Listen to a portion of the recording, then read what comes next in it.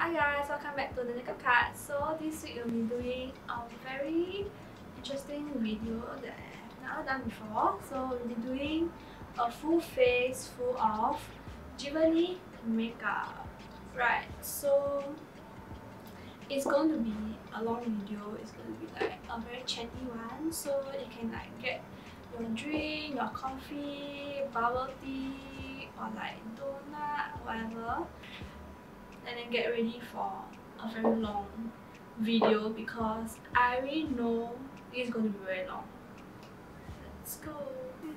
So before we actually start with anything, we have to not have like a clean base. I'm going to actually go and remove my makeup first. I'm sorry if you can hear like the construction noise going on like over there.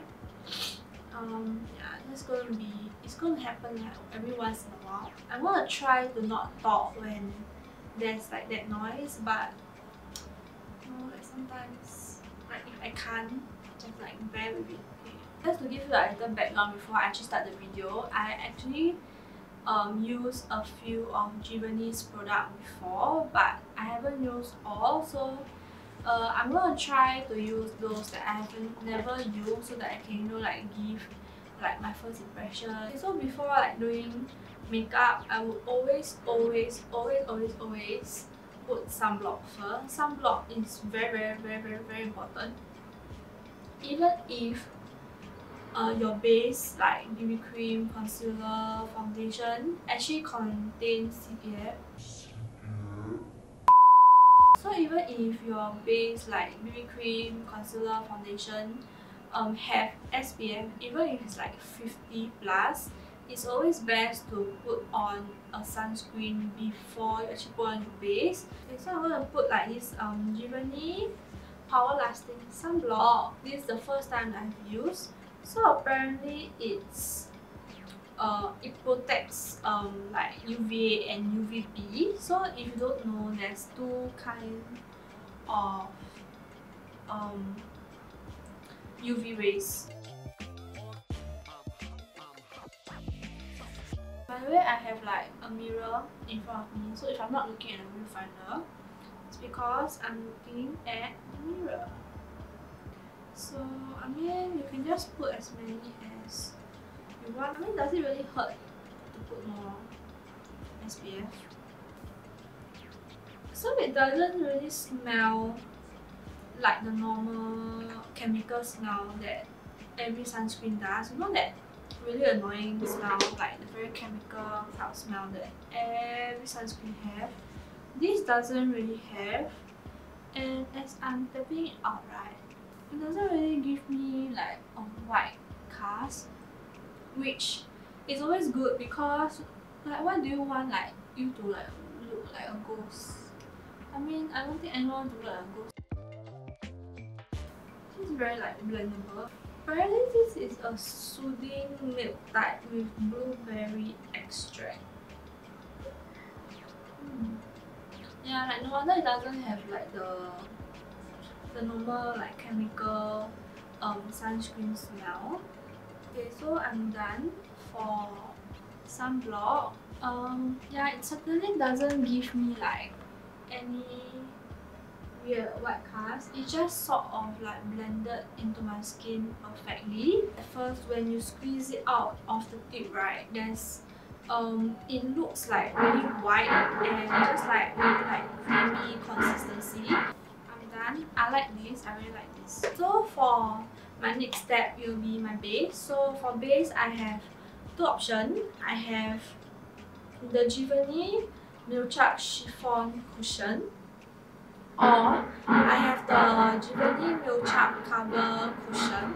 So I think I'm going to go with the chiffon option because this um the chiffon cushion is actually more lightweight as compared to the cover cushion.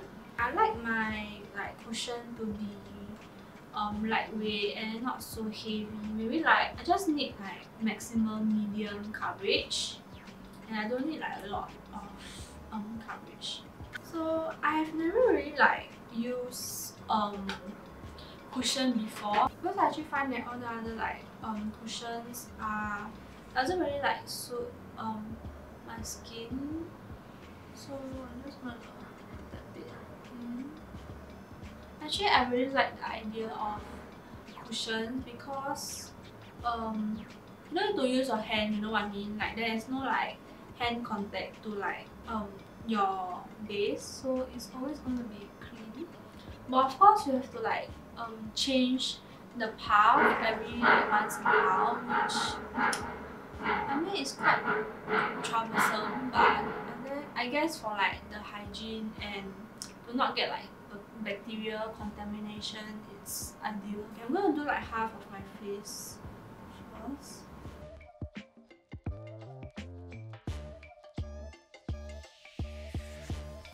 Now this is definitely like the coverage that I prefer. Like you know, it's not too heavy, but it gives you exactly what you need. Yeah.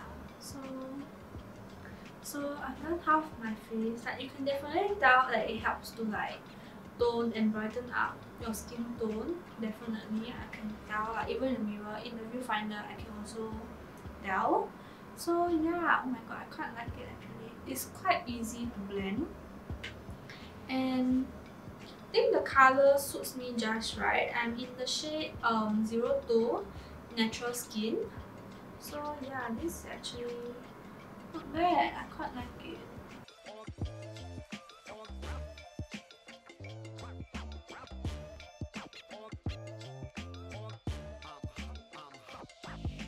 My trouble areas is here.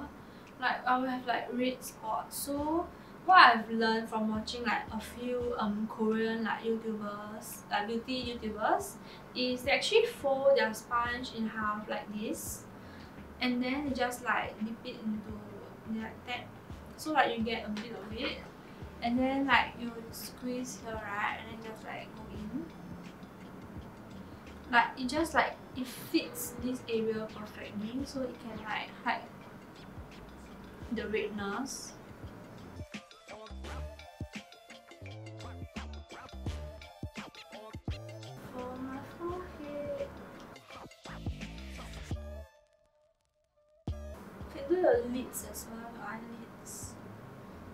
looks like more, like the colour is more like uniform. I just realized something. I forgot to do primer. Oh my god. See, like this is the, like this is why my like skincare routine or like makeup routine is always very different because I always forget to do stuff. Like if there, like if there's too much like steps for me, I can never ever remember it. Like it's impossible for me to have like the Korean like 10 step skincare routine because I will always forget about it. Oh my god.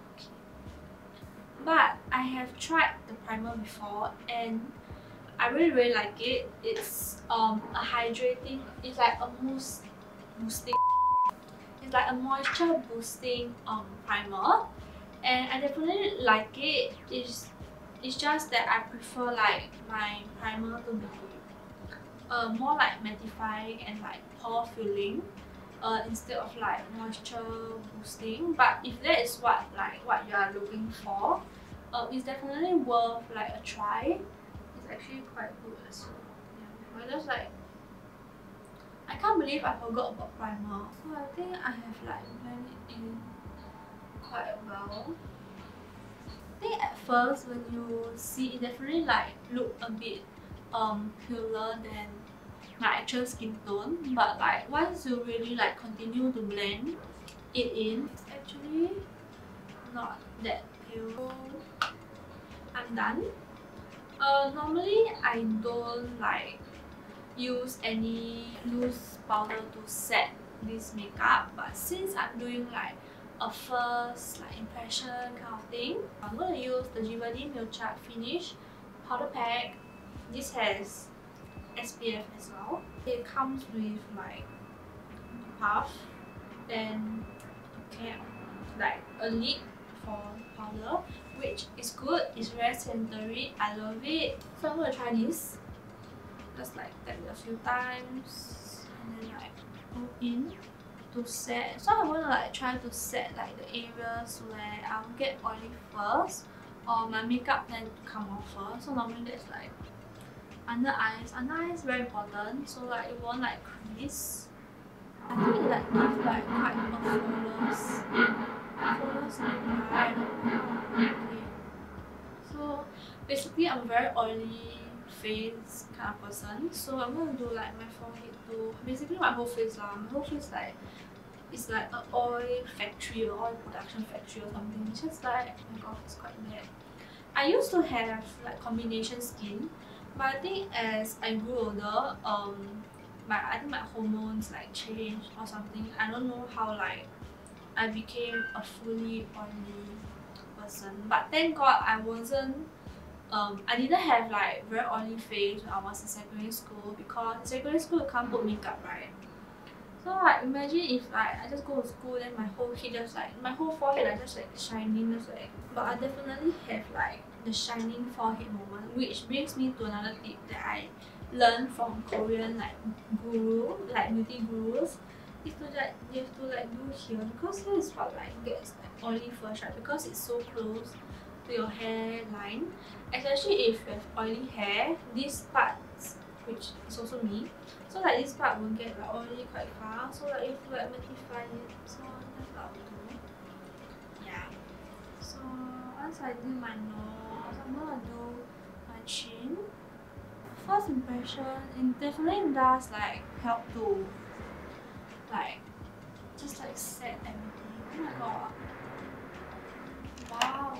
Actually I'm quite impressed by this uh, like I think it just like makes my skin like look more flawless more put together. Yeah I think definitely like mattified it as well which is always great. Also this has like SPF 25 right? It's not a lot but I think like um during the afternoon or on the go want to like touch up this has SPF as well. So it's really good because like normally the SPF just like wears off within like what two hours and especially in Singapore when you like sweat and for um sunscreen is not waterproof your sunscreen will come off with the sweat as well yeah I'm gonna do my brows um, unfortunately, very sadly, Giverny doesn't have any brow products, so I'm gonna use my own. So currently, I'm very obsessed with these two brow products. The thing about me and like makeup obsession is that once I'm I really like something, I'll just like continue to use it and I won't like go explore into other areas. So basically, I have been using the Etude House one and this like um, Essence one for about a year and all I've been doing is just to like buy like to like refill this and I don't even like need to go and go out and look for brow products anymore but the thing about this like Etude House um what brow thin my thin my tip brow is that it has like a very weird um thin like colour to it. It has like a green green colour it. Tip for you guys, if you like to bring spoolie right, just like use like cotton pad, try like blend it out. I think it looks like okay, acceptable. Not my best, but I think it looks decent. Okay, nobody's gonna like go and analyze your brows unless it look very very very different. So after that, I'm gonna go in with the Essence one.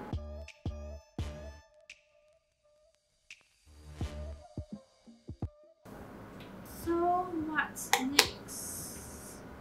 I don't think I need concealer because I look fine.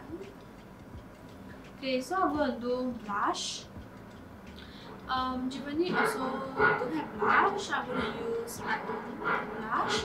It's from Innisfree. It's the one that I've, I've been using like for the past few videos. I, I get really like obsessed one product and just like that one product forever basically. I won't like ever I mean for blush, um I have quite a lot of blush because I don't know, I have like a blush problem. Like you know like some people collect a lot of like lip tints or lipstick, which is also me by the way. I have a lot of lipsticks. I don't have a lot of blush, but I think it's definitely more than what a normal human being has lah, okay? Just like blend blend blend, it's like done, finished. Next will be lipstick and oh my god. So I can't even tell you how many like lipstick product I have in front of me.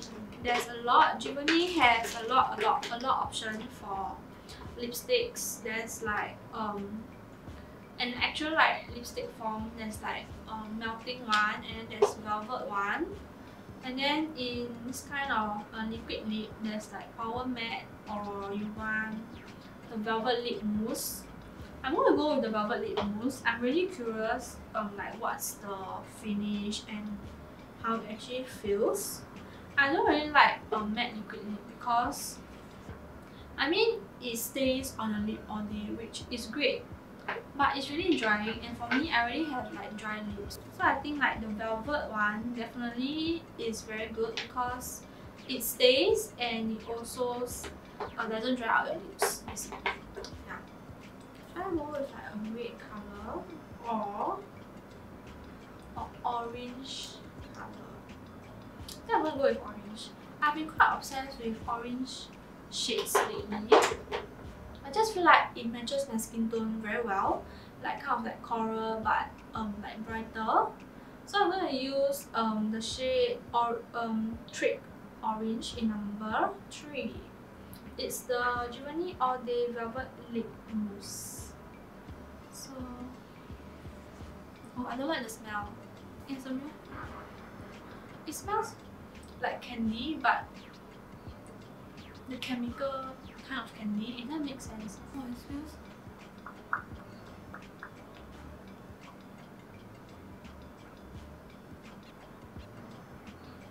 it's quite watery. Wow it's great I'm gonna blend out with my fingers. I accidentally tasted some when I was like smacking my lips. It definitely feels like quite watery, like the consistency is kind of watery. Um, I don't hate it, but I don't love it. Firstly, the fragrance is kind of weird. I don't, it's really like quite kind of chemical like smell and it's quite strong. But I guess if you don't mind then it's fine.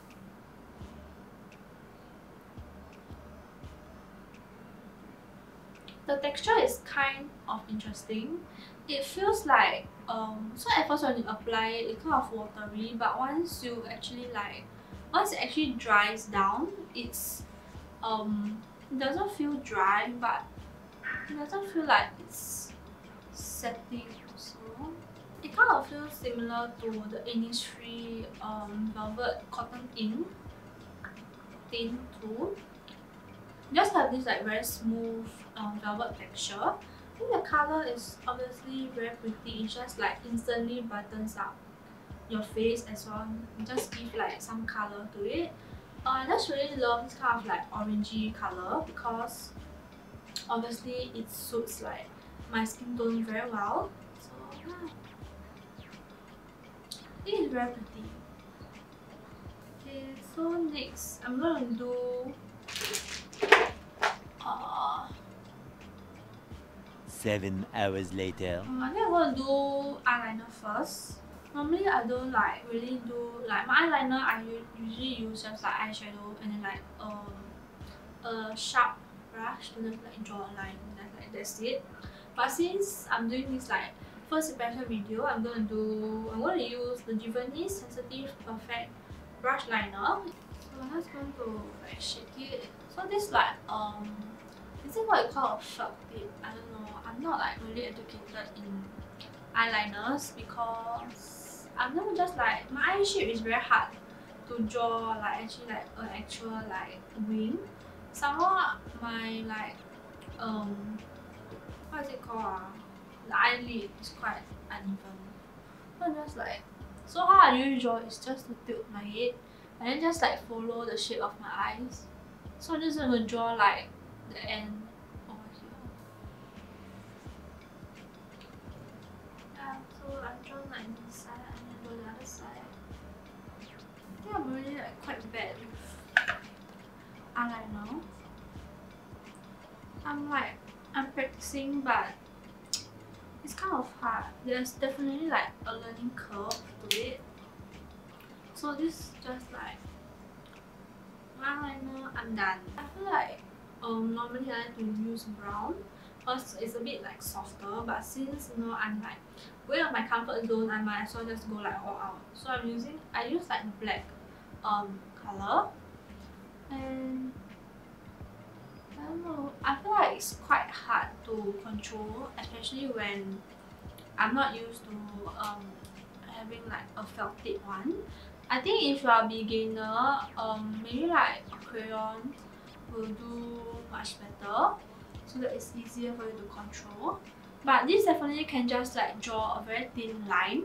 So if you just want to like have, you know, like like me, you just want to have like, you know, like a little bit of definition towards the end to emphasize like my eye shape this is actually very good for you if you are like those experienced you know like you've used a lot of eyeliner before and this is definitely good so like because you can draw very like specific um lines that you want so next I'm actually going to use mascara um, I'm going to use like the volume and the lengthening one simply because I need both. I have the typical Asian eyelashes. So I'm going to use the volume one first to give it like that pump. This is actually perfect for my Asian lashes because it's very small. Look at the wand, it's so small and so tiny.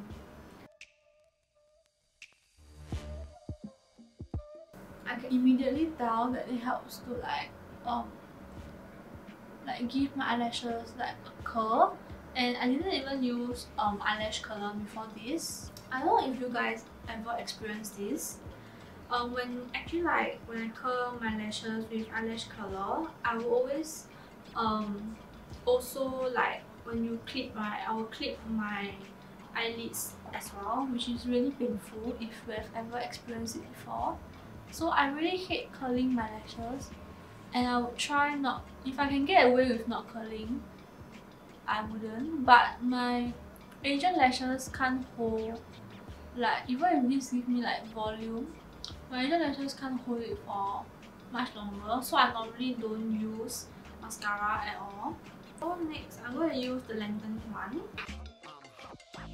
Everyone has that ugly apply mascara face. It's just like like that face of um focus.